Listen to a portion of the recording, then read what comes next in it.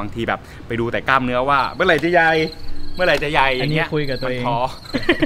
อันนี้บอกตัวเออันงนี้ท้อเองด้วยท้อเองนะครับผมวันนี้มาซ้อมขานะครับพอเพื่อนๆได้ยินขาปุ๊บกดปิดวิดีโอเลย ไม่ได้นะครับ ขาต้องเล่นนะครับผมต้องเล่นอันนี้บอกตัวเอง ขาจะเป็นที่จะต้องเล่น ซึ่งวันนี้นะครับ ครั้งที่แล้วผมได้พูดเกี่ยวกับ upper body ไปแล้วนะครับ วันนี้เป็นตาราง lower body คำว่า lower body เนี่ยเป็นทุกช่วงของช่วงล่างหมดเลยนะครับ ก็ lower body เนี่ยจะเป็นกล้ามเนื้อก้น ต้นขาด้านหน้า ด้านหลัง แล้วก็น่องนะครับหลักๆเลย ซึ่งท่าแรกจำเป็นที่เราต้องฝึกมากนั่นก็คือท่าสควอตนั่นเอง หลายๆคนนะครับไปเปิดท่าอื่นก่อน อันนี้ไม่ค่อยแนะนำเพราะว่าท่าสควอตมันใช้กล้ามเนื้อทุกส่วนของร่างกายนะครับ ถ้าบางทีเราไปฝึกท่าไอโซเลชันก่อน หรือว่าไปฝึก leg extension leg curl พวกนี้ก่อนเนี่ย มันทำให้เราหมดแรงเราเล่นท่า squat ได้ไม่เต็มที่เพราะฉะนั้นคุณจำเป็นต้องฝึกท่า squat ก่อนนะครับวันที่ผมเล่น lower body เนี่ยผมจะเล่น5คูณ5ด้วยนะครับ เป็นตารางที่ฝึกสเตร n ง h ยังไงก็กลับไปดูวิดีโอเก่าๆได้เลยนะครับ เพราะว่า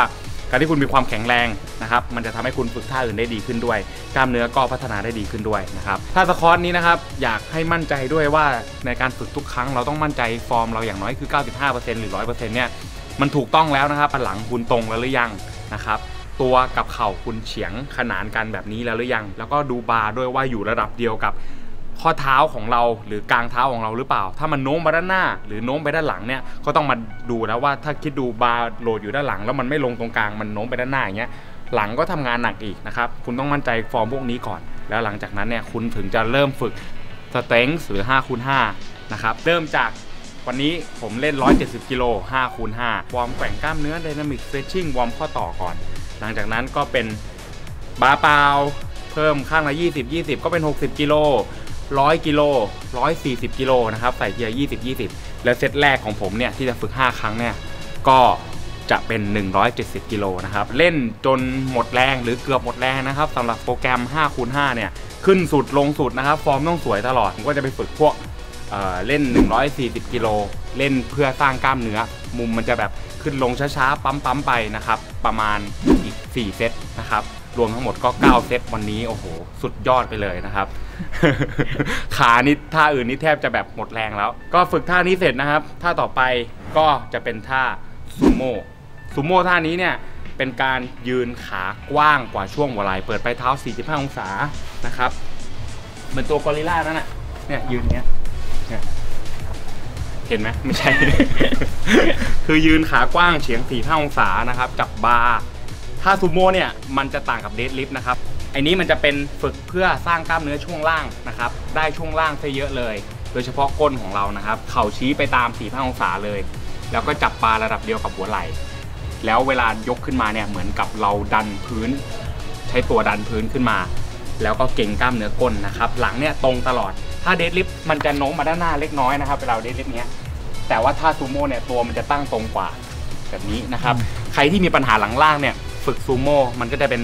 ตัวเลือกที่ดีกว่าเล่นหนักได้นะครับ ผมเล่นอยู่ประมาณ วันนี้ก็เล่น 4 เซตเซตละประมาณ 10ถึง12 ครั้งนะครับ ก็อยู่ประมาณ 160กิโล180กิโลอันนี้ขึ้นอยู่กับ feel เลยในแต่ละวันนะครับ ก็ตามนี้เลยนะครับฟอร์มพอจบท่านี้ไปท่าที่ 2 ผมก็จะเล่นท่าที่ 3 เป็นท่า isolation และท่าง่ายๆ แล้ว leg extension นะครับเตะไปเลยนะครับจำนวน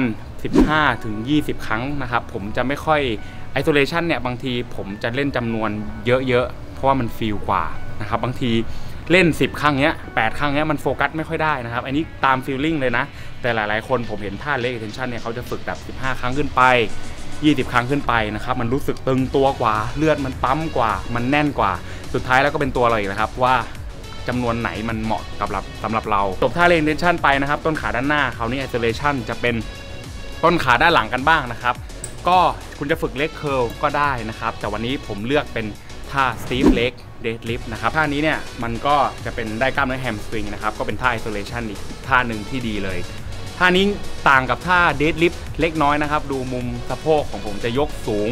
กว่า Deadlift นะครับ แล้วก็โน้มตัวมาด้านหน้าเล็กน้อยเวลาลงไปลงไปให้รู้สึกว่าแฮมสตริงหรือกล้ามเนื้อหลังขาของคุณยืดออก แล้วพอขึ้นมาเนี่ยใช้สะโพกดันเข้าไป